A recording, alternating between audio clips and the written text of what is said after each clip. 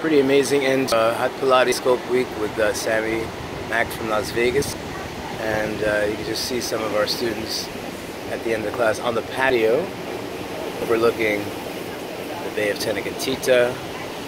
And as we just sort of like, after class, going into our yoga room, which you can see right here as we open up the door.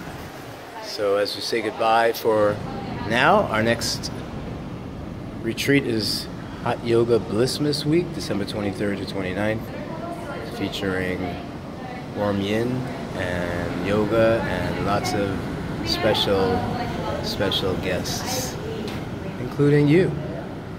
Hopefully we'll see you soon. Namaste.